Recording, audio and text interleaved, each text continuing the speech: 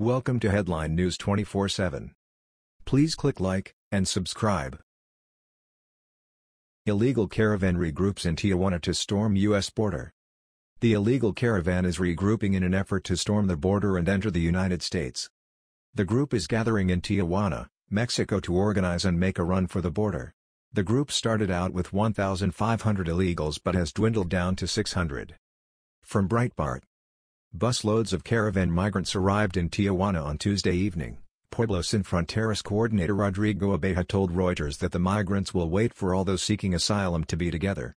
Once as many as 1,500 migrants, the caravan appears to have dwindled to about 600, the news organization reported. Two busloads of caravan migrants arrived in Tijuana Tuesday evening. The passengers included men, women, and children. After arriving, the passengers were let loose onto the streets of the murder-ridden city. This month alone, nearly 150 people were murdered there, Breitbart Texas Robert Arce reported. Nearly 700 people are reported to have been killed since January 1.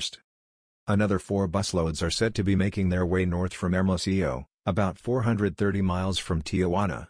Parts of the caravan stalled there as migrants discussed what to do about American statements promising they will be denied entry to the U.S. President Donald Trump ordered the U.S. Secretary of Homeland Security to repel the asylum seekers from the border. Despite the Democrat-inspired laws on sanctuary cities and the border being so bad and one-sided, I have instructed the Secretary of Homeland Security not to let these large caravans of people into our country. It is a disgrace. We are the only country in the world so naive. Wall. Donald J. Trump, at Real Donald Trump, April 23, 2018. The president then tweeted a message to Mexican officials urging them to stop people from navigating freely through their country to the U.S. He threatened to make this a condition of a new NAFTA agreement. The president then tweeted a message to Mexican officials urging them to stop people from navigating freely through their country to the U.S. He threatened to make this a condition of a new NAFTA agreement. Mexico, whose laws on immigration are very tough, must stop people from going through Mexico and into the U.S. We may make this a condition of the new NAFTA agreement. Our country cannot accept what is happening. Also, we must get wall funding fast. Donald J. Trump, at Real Donald Trump, April 23, 2018 DHS Secretary Kirstjen M. Nielsen said her department would fast-track any caravan asylum cases. DHS continues to monitor the remnants of the caravan of individuals headed to our southern border with the apparent intention of entering the United States illegally. A sovereign nation that cannot, or worse, chooses not, to defend its borders will soon cease to be a sovereign nation. The Trump administration is committed to enforcing our immigration laws, whether persons are part of this caravan or not.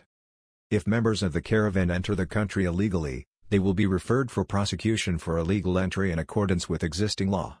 For those seeking asylum, all individuals may be detained while their claims are adjudicated efficiently and expeditiously, and those found not to have a claim will be promptly removed from the United States. A Mexican official who oversees migrant affairs in the state of Baja California told the Desert Sun that his group met with the caravan migrants to provide humanitarian assistance and health services. He told the reporter he expects three or four more busloads to arrive in his city on Wednesday. About 50 of the 130 people who arrived on Tuesday were suffering from respiratory infections, diarrhea, and other medical issues, a health official told the news outlet. Tristan Call, a volunteer with Pueblo Sin Fronteras, acknowledged the dangers faced by migrants along their journey. He said his group provided security for the people who stayed together. We have prevented 10, 20, 100 kidnappings with this caravan, Call said in Spanish. We don't know how many and we don't want to know how many.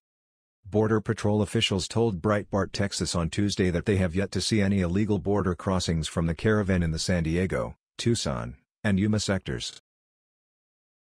That was the news. We thought you might be interested in knowing about this. Please click like and subscribe. Thank you.